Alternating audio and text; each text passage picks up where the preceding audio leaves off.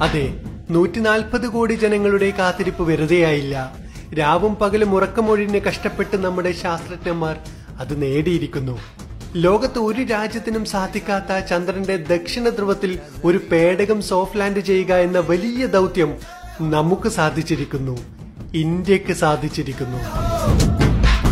ആദ്യമായി ചന്ദ്രനിൽ മനുഷ്യൻ കാലുകുത്തുമ്പോൾ ഐ എസ് ആർഒ എന്ന ഇന്ത്യയുടെ ഏജൻസി രൂപീകരിച്ചിട്ട് പോലും ഉണ്ടായില്ല.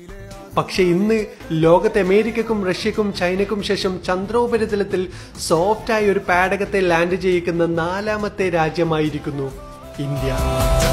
നാൽപ്പത് വർഷത്തിന് മുകളിലായി ഒരാൾക്കും ഇറക്കാൻ പറ്റാതിരുന്ന ദൗത്യം രണ്ട് വർഷം മുമ്പ് ചൈന പൂർത്തിയാക്കിയതിനു ശേഷം ഇന്ത്യ ഇതേ അടുത്ത ശക്തിയായി ലോകത്തിന് മുന്നിൽ നിവർന്നു നിൽക്കുന്നു. ഇന്ത്യയുടെ യശസ് ഉയർത്താൻ പ്രയത്നിച്ച എല്ലാ ശാസ്ത്രജ്ഞന്മാർക്കും അഭിനന്ദനങ്ങൾ.